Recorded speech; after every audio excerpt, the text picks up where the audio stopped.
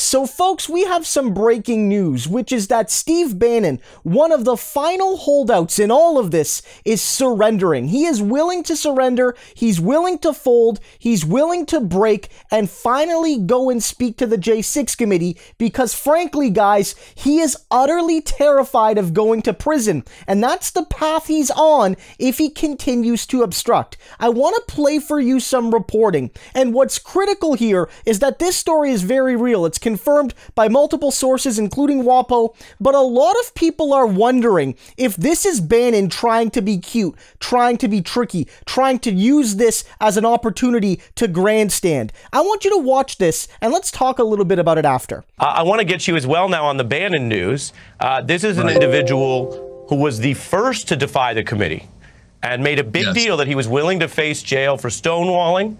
Uh, the Washington Post crossing an important story tonight. The way they put it, I want to be clear, is that the headline says Trump could waive claim of executive privilege for Bannon. Now, what's interesting here is number one, Trump hasn't engaged on these privilege claims for most of his aides. Number two, Bannon doesn't have legal privilege because he wasn't in the White House at the time. Um, and number three, unlike Meadows or Cipollone, you have someone in Steve Bannon who is facing the very real prospect of a federal criminal trial which, uh, to bring John Flannery back in, which, if he loses, could go to real prison time.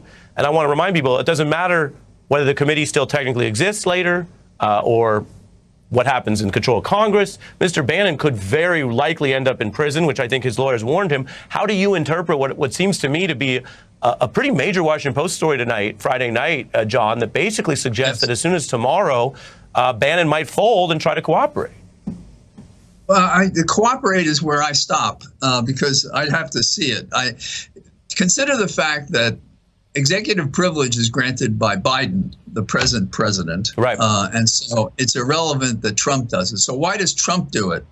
Trump does it because that's what Bannon has said already, and he wants it to happen. And why does he want it to happen? Since they both know what they did together. So my feeling as a prosecutor would be this is a Trojan horse coming in to spread nonsense and to try to, from inside, blow up the investigation. Let me now let me press you now. Let me press you on that, John, and then I'll let you continue. One, I think what you're saying is a very credible suspicion. Um, Mr. Right. Bannon waltzing in to talk does not mean that he's there to help the investigative goals of the committee. Uh, and yet, number two, I want to get your your view of the the breakthrough because the committee does want him there, even if they find him difficult or even if he pleads the fifth, as Mr. Eastman did. Um, the committee's leadership has said he has this duty. So they would look at this as a win if this happens tomorrow or whenever it were to, according to the right. Post. Um, how do you view that as as Garland actually putting heat on these people rather than sitting back and saying, oh, it's a House matter, I'm not going to deal with it? Yeah, well, we have experienced prosecutors on the team that is working on the January 6th committee.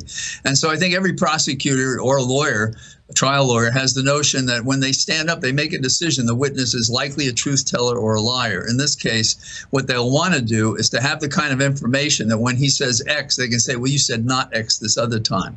And that's how you control a witness that you're very suspicious of and that uh, you look for those things that you can corroborate or contradict. And that gives you a test whether he's telling the truth or not. I would think in short order, as skilled as he believes he is as a deceptor of the first order, that he would be he'd be caught up. And I can imagine him after a couple hours uh, cross-examining. I just wish I had the opportunity, but there it is. I actually don't know what's up here. Clearly, Bannon is surrendering. Clearly, he's folding. Clearly, he's going in with his hands up. But I don't know if he's doing so fully sincerely. I think he wants to still screw the committee, but he's truly terrified of prison. And while ostensibly Donald Trump is going to give him permission here, it still amounts to the fact that even Bannon, one of the chief cultists, is going in to testify against Donald Trump. This is a massive day. Everyone is folding. No one is staying 100% loyal to Donald. But Bannon, it might be a trap.